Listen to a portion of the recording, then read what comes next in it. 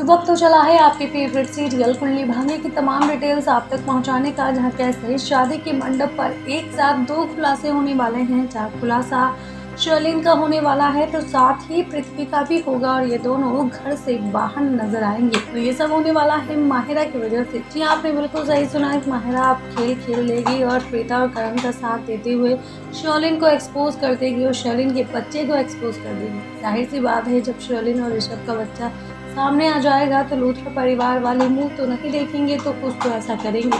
अब देखना होगा ये कि क्या करने वाले हैं और इनका क्या फैसला होगा। कल आगे तमाम अपडेट जानने के लिए सब्सक्राइब प्लीज़ हमारा चैनल